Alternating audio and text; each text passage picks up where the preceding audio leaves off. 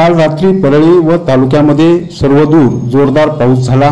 मुसळधार पाऊस झाल्याने परळी तालुक्यातील जलसाठे आता जवळपास भरत आले आहेत.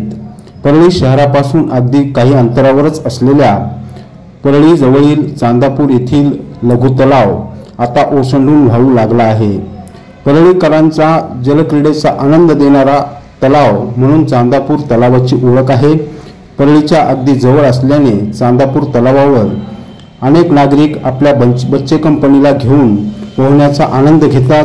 त्याचबरोबर मुलांना पोहण्याची सवयही याच तलावाने लागते. चांदापूर येथील हा जलक्रीडेचा आनंद देणारा लघु तलाव रात्री झालेल्या जोरदार पावसाने भरून गेला आहे.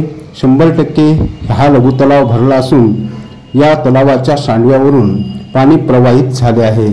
परळीकरांना जलक्रीडेचा आनंद देणारा चांदापूर तलाव ओसंडून गेल्याने सर्व स्तरातून समाधान व्यक्त केले जात आहे.